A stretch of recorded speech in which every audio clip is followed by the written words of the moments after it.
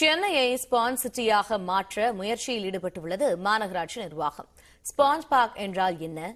இதனால் கிடைக்கப்பெறும் பயன்கள் என்ன என்பதை விளக்குகிறது இந்த செய்தி தொகுப்பு.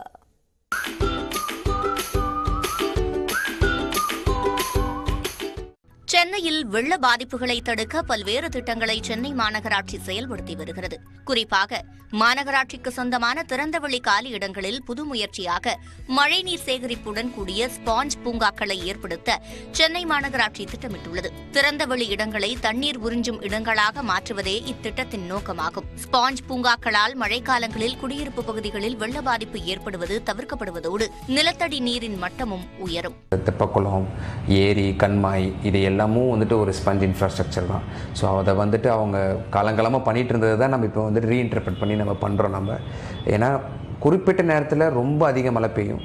அதை நம்ம வந்துட்டு ஃப்ளட்டிங்லேருந்து ப்ரொடெக்ட் பண்ணும். அதேமாதிரி சேவும் பண்ணும். ஸோ அது ஸ்பஞ்ச் சிட்டிஸை பண்ணிட்டு இருக்கோம். முதற்கட்டமாக ஐம்பத்தேழு பூங்காக்களில் ஸ்பாஞ்ச் பார்க் எனப்படும் கடற்பாசி பூங்காக்களை ஏற்படுத்த உள்ளனர். இதற்காக சிங்கார சென்னை டூ பாயிண்ட் ஓ திட்டத்தின் கீழ் ஐம்பது கோடி ரூபாய் தமிழ்நாடு அரசு ஒதுக்கீடு செய்துள்ளது. தற்போது மாத்தூர் எம்எம்டிஏ திருவொற்றியூர் உள்ளிட்ட ஐந்து இடங்களில் ஸ்பாஞ்ச் பார்க் அமைக்கும் பணிகள் தொடங்கப்பட்டுள்ளன.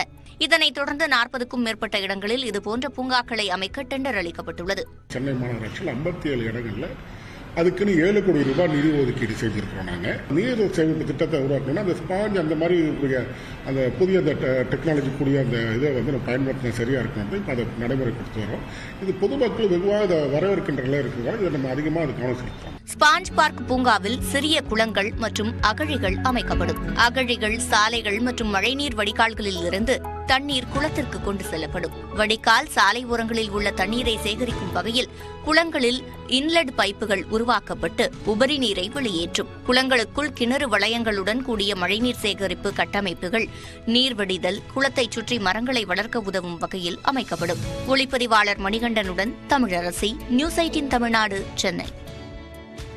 புகைப்படங்களில் உள்ள எழுத்துக்களை அப்படியே மொழிபெயர்த்து கொடுக்கும் கூகுளின் புதிய வசதி குறித்து அன்பாக்ஸ் பகுதியில் தற்போது